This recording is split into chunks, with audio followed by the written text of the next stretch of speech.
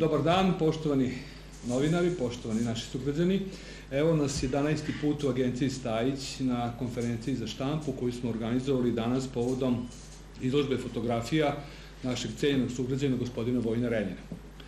E, tema današnja i današnje konferencije za štampu je e, poziv našim sugrađanima da dođu 17. februara u 19 časova u galeriju Krug na izložbu čija je tema grad Dubaji, odnosno znamenitosti ljudi Dubajija.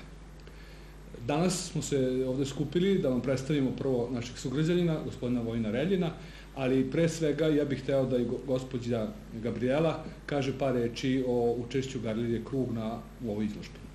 Dobro, ja ću pozdraviti samo ljude, e, naši građane ispred Galerije Krug, gradskog pozorišta i e, pozvati sve vas 17. februara u 19 e, sati na otvaranje izložbe naših sugrađanina Vojna Reljina. Uvek nam je drago kad je naš sugrađanin u pitanju ovaj, da, da izlaže kod nas u galeriji i e, e, redko ko ima tu sreću eto da boravi u Dubaju i drago nam je da je Vojn Reljin e, tu svoju sreću i tu, to svoje iskustvo odlučio da e, podeli sa svima nama. E, izložba je otvorena do 2. marta i može se e, videti svakim radnim danom od 9 do 14 sati dok je, izložba, e, dok je galerija otvorena. E, iskoristit ću priliku da pozovem građane i na sledeću našu izložbu. E, ona će se otvoriti 3. marta i vezuje se za e, 8. mart, Dan žena. E, izložba, se zove Žena i e, ona e, okuplja e, više umetnika, e, pošto je reč o jednoj koloniji, kolonije Kolut Mandić, e, čoveku koji je kolekcionar i koji e, je skupio e, nekoliko, nekih 30 slika koja ima temu žena, a e, autori su iz e, raznih e, zemalja, iz Makedonije, Bugarske, Grčke, Bosne i Hercegovine, Crne Gore i naravno iz Srbije. E, ja vas još jednom pozivam i drago mi je ako budete došli u našu galeriju. Hvala vam. Hvala na lepim rečima i na pozivu. Ono što je bitno reći, e, naših sugrađajina vojna ljudi poznaju iz raznih profesija. Ja sam se sa Vojom sreo 3-4 puta, upoznavao sam svaki put njegov neko drugo lice i prvi put kada sam ga upoznao, bilo je to skoro pre 40 godina, kada sam saznao za jednog našeg bečejca koji je otišao da studira umetnost, odnosno otišao je na Akademiju u Beograd, a nije na ekonomiju u Suboticu, kako je to ono vreme bilo. Vojn je završio u Beogradu e, fakultet, e, kako se to zove? Tačno? Primenjenih Primenjenih umetnosti i zaposlio se u radio televiziji Beograd. A ne, to je bila pozorišna akademija. Pozorišna akademija, dobro. I zaposlio se u radio televiziji Beograd, radio je u programima kao što su sportski program Indirekt, ili tako u to vreme, i radio je u Beogradskoj kronici kao organizator ili kao scenograf. I jedno i drugo. I jedno i drugo. E, znam da smo se onako uvek takmičili ko će pročitati na špici, aha, Vojin Redin, to je naš Bečejac, tako su nam i stari, sam se upoznavali sa njim, a onda jedne godine ono ponovo u Bečeju i počeo svoju karijeru da izgrađuju u. Prvo je radio u karbon dioksidu jedno vreme, pa onda je prešao ponovo u Beograd, tako na televiziju se vratio i evo ga sada već duži niz godina u svojoj proteinu vodi računa o marketingu, o propagandi, o sajmovima i između ostalog i ova sva putovanja vojna između ostalo, kažem, i službena su, spojili, spojili se u lepo i u nešto što ćemo mi imati priliku da vidimo. Voja je e, u svom životu slikao mnoge stvari i ovo je četvrta izložba. E, pre deseta godina smo imali priliku da vidimo Pariz. I to je isto bila jedna, a, jedna lepa, jedno lepo veče kada smo svi bili, e, bar u tom momentu bili u Parizu, a evo sada nam se pruža prilika da prošetamo ulicama Dubaja, da pogledamo plaže u Dubaju, da pogledamo ljude kako izgledaju i ribarnice. Mislim da je to jedna od tema, evo i to se vidi ovde iza. Ono što kod nas u Vojvodini ne može da se vidi, to su ove ribarnice koje su vrlo specifične za sam grad Dubaj. I ono što je najvažnije u Dubaju, to su njegove građevine. Znači, ako je negde ekspanzija i ako se negde gradi, to se gradi u Dubaju i Voje je to vrlo lepo i vrlo dobro osmislio i oslikao. Ja ću sada zamoliti Voju da kaže par e, reči o ovoj temi koja je danas pred nama i da nam kaže šta ćemo sve moći u 55 slika da vidimo to veče u Galeriji Kuk. Izvoli Voja. Hvala. Pa, tokom ovih uvodnih e, priča, više puta je e, izrečena reč sugrađanin. I upravo od toga sam ja i pošao.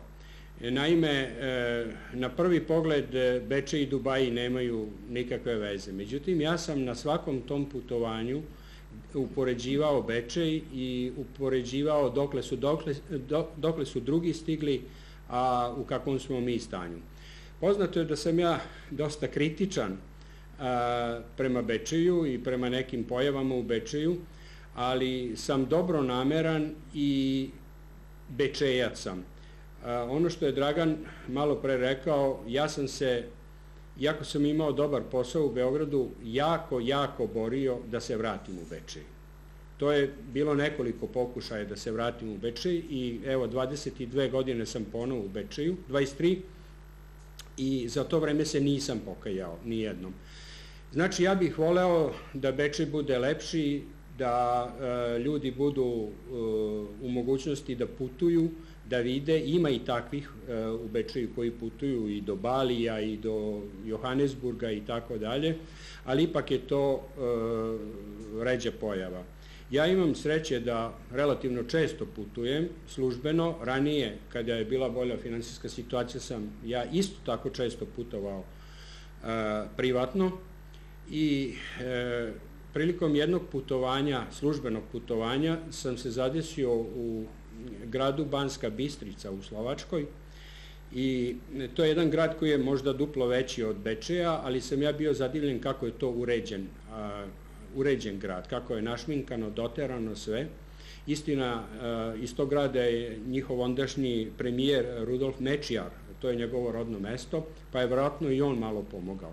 I tada sam ja pomislio zašto Bečej ne bi mogao da bude tako doteran, tako uređen, jer ovo što sada imamo, to je u prilično jadnom stanju. I baš iz tog razloga da bih drugima pokazao Znači, Banska Bistrica nije nešto atraktivno kao što je Dubaj. Baš iz tog razloga da bih to pokazao kako jedan omanji grad može da bude lep, ja sam dobio želju da snimam e, gradove na svojim putovanjima i da to e, prezentiram da e, oni ljudi koji e, nemaju mogućnost da vide, da upoređuju, da budu stimulisani, da čuvaju svoj grad, da uređuju svoj grad. E, Do te izložbe nije došlo zato što a, sam planirao još u dva grada u koja nisam ovaj, stigao da odem, da, da napravim još a, snimke e, iz tih gradova i da onda napravim jednu izložbu ovaj, koja bi bila, koja bi objedinila sve ove dosadašnje gradove gde sam bio. A ja sam eto sada počeo od kraja, a ne od početka. A zašto tako? Zato što je Dubaji sada jako u modi i mnogo se priča, mnogo se prikazuje Dubaji. Ja sam ove fotografije snimio pre tačno godinu dana, u februaru mesecu prošle godine i žurio sam da ih e, prikažem jer bi one već vrlo brzo bile zastarele. Dubaj napreduje takvom jednom brzinom koju mi ne možemo da pojmimo. Naime, 19% svih građevinskih dizalica koje postoje u svetu su angažovane u, u Dubaju i to je stvarno to je stvarno jedna šuma dizalica.